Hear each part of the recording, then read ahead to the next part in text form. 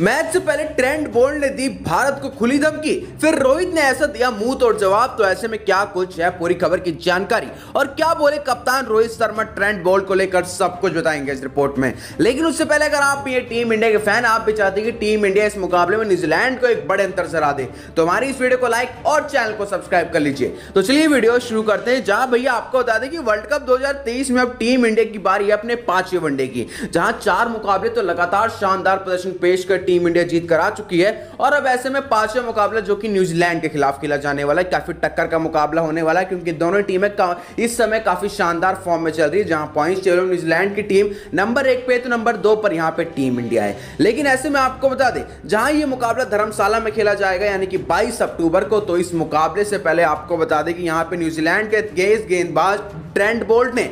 यहाँ पे आपको बता दें कि भारतीय टीम के कप्तान रोहित शर्मा को खुली धमकी दे दी है। उनका कहना है कि इस मुकाबले में मैं इनके जो एक से एक बल्लेबाज हैं, चाहे वो रोहित शर्मा ही क्यों ना हो, विराट कोहली हो, या फिर यहाँ पे दोस्तों सुमन गिल हो, उनका कहना है कि मैं इनके गे बल्लेबाजों को आउट करके दिखाऊँगा। ये मैं वादा करता हूँ क्योंकि मेरी गेंदबाजी इतनी कमज़ोर नहीं है भारतीय टीम की तरह। और मेरी गेंदबाजी के आगे इनके बल्लेबाज दोस्तों पानी मांगते हुए नज़र आएँगे। जी हाँ लेकिन ऐसे में जब ये बात कप्तान रोहित शर्मा ने सुनी तो कप्तान रोहित शर्मा ने इनका मुँह तोड़ जवाब देते हुए बोला कि भैया, आपने क्या हमको कम समझा हुआ है? उन्होंने कहा कि इस समय हमारे सारे बल्लेबाज शानदार फॉर्म में चल रहे और हमारी गेंदबाजी कुछ कम नहीं है। हार्दिक पांड्या भले चोटिल हो चुके हैं, लेकिन हमारे पास तेज गेंदबाजों का भरमार है। सिराज है, समी है, जसप्रीत बुमराह है। तो ये गेंदबाज ऐसे हैं जो आपके बल्लेबाजों को बकायदा बार बार पवेलियन का रास्ता दिखाएँगे। और विराट कोहली ऐसा बल्लेबाज शानदार फॉर्म में चल रहा है। के राहुल भी इस समय कमाल की फॉर्म में चल रही है और मैं खुद तुम्हारी गेंदों पर छक्के मारने का दम रखता हूँ। तो आपको क्या लगता है, क्या इस मैच में रोहित शर्मा ट्रेंड बॉल की गेंदों पर छक्के मारते नज़र आएँगे या फिर नहीं?